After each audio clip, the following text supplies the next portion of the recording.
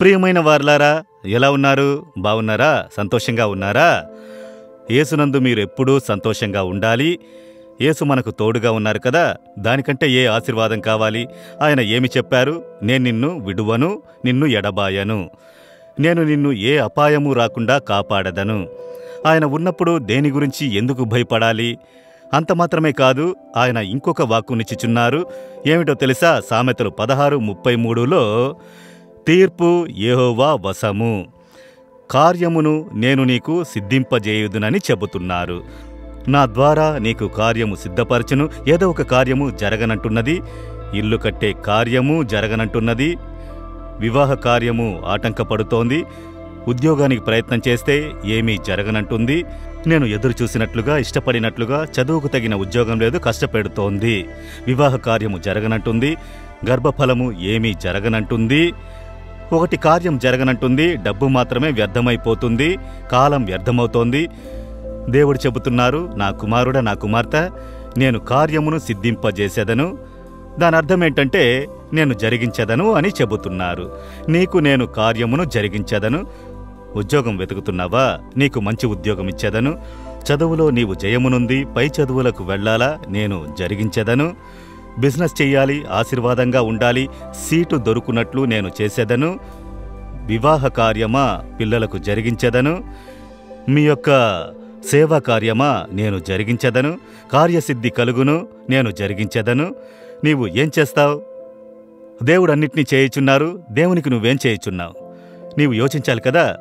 ప్రభు మనకన్నీ చెయ్యాలి. ప్రభు కొరకు మనమేం చేయుచున్నాం? అయితే ప్రభు ఏం ఎదురు చూస్తున్నారు?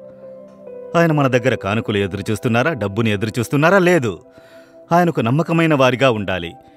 మీరు ఇతరుల కొరకు ప్రార్థించాలి. ఇతరులకు ఆశీర్వాదంగా ఉండాలి. మీరు నా కార్యమును జరిగించుడి నేను ఇతరులకు ఆశీర్వాదంగా ఉండేదను.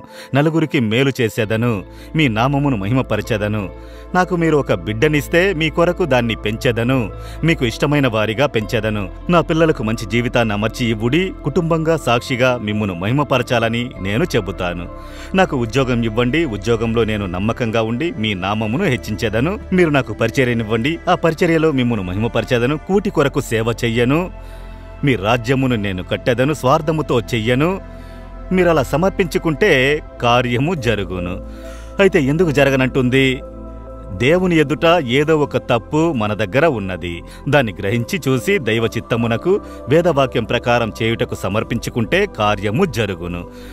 నిజంగా అది జరుగును ప్రభు జరిగించెదరు. ఇలా చూడండి ప్రార్థనా కొండ ప్రార్థనా కొండ అనే ఒక ప్రాంతం ఇది.